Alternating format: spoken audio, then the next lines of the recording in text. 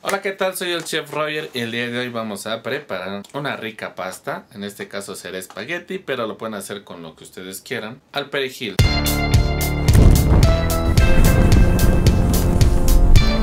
Esta es una receta muy sencilla pero sin embargo es muy rica. Una salsa al perejil, ocupamos muy pocos ingredientes. Esta pasta se hace regularmente con mantequilla pero igual la pueden hacer con aceite de oliva y quedará muy rica también. El único punto interesante que hay que ver de esta receta, momento de saltear y freír, debemos de hacerlo muy rápidamente para que nuestro ajo y nuestro perejil no se quemen, ya que al estar muy picados se queman muy fácilmente. Existe una variante que se llama el pepero chino, de la misma receta, pero primero le van a freír un chile serrano cortado. Con esto tendrán un espagueti picosito pero muy rico. Recuerden calcular muy bien su sal, ya que es el único toque que le da. Y ya saben, si gustan agregarle algún ingrediente extra, están en todo su derecho. Ustedes son los chefs en su cocina. Pueden agregarle alguna verdura, un poco de pollo deshebrado, atún, etc. Yo los dejo con la receta básica y sencilla para este espagueti. Recuerden darle like, comentar, compartir y suscribirse a este canal si es que aún no lo han hecho. En la parte de abajo les dejo mis redes sociales para que me visiten, me manden algún comentario, alguna foto, por el momento es todo. Los dejo con este espagueti al perejil. Una receta muy fácil de hacer, muy rápida, pero muy rica.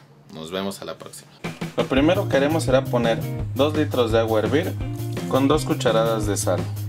Mientras hierve nuestra agua vamos a preparar nuestros demás ingredientes. Lo que vamos a usar es perejil, pero solo voy a usar las hojas. No me interesan las ramas, así que las voy a ir desprendiendo así. Y dejaré las puras hojitas. Ahora vamos a picar todo esto. Pero para evitar que se nos vayan nuestros jugos que suelta el perejil, solo vamos a picar dos veces, a lo largo y a lo ancho. Para esto lo tenemos que hacer muy finito. Vamos a tomar, hacemos una bola y empezaremos a picar muy finamente. Ahora lo vamos a girar y picaremos en el otro sentido.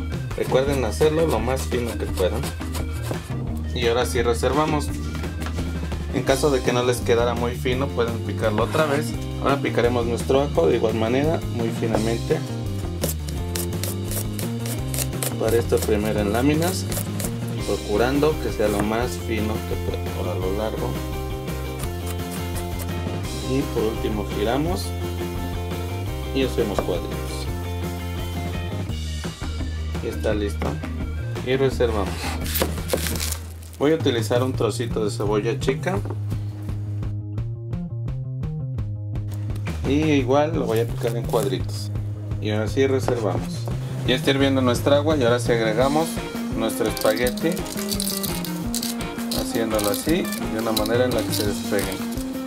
Lo vamos a sumergir y lo vamos a cocer de acuerdo a las instrucciones de su pasta en este caso esta pasta dice 9 minutos la dejaremos 9 minutos para que esté al dente si agregamos la suficiente agua no es necesario agregar aceite y las hierbas de olor pueden estar por demás ya que el sabor se lo vamos a dar con nuestra salsa. Ahora sí esperaremos a que se cosa nuestra pasta.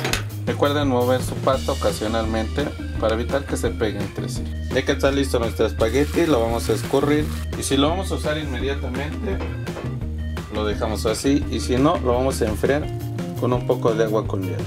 Voy a agregar 40 gramos de mantequilla.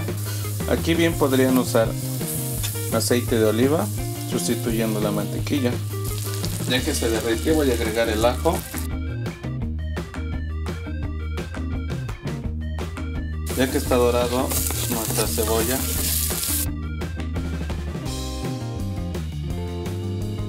Y por último nuestro perejil.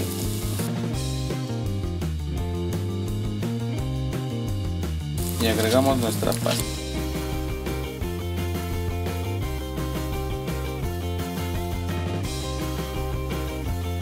sazonamos un poco de sal y consomé de pollo en polvo. Mezclamos muy bien y está listo. Si gustan al final podremos agregar más perejil. Ahora sí vamos a emplatar. Para esto simplemente pongo mi espagueti y le voy a dar una vuelta para que se vea mejor. Yo lo voy a acompañar con milanesa de res que combina muy bien. pueden acompañar con lo que gusten. Decoramos. Ahora sí eso es todo nos vemos a la próxima. Y ahora los voy a ir poniendo en mi canasta. Pongo de mi guisado. ¿Vieron qué fácil es? Conforme vayamos cortando le vamos a ir agregando a nuestro aderezo y mezclando.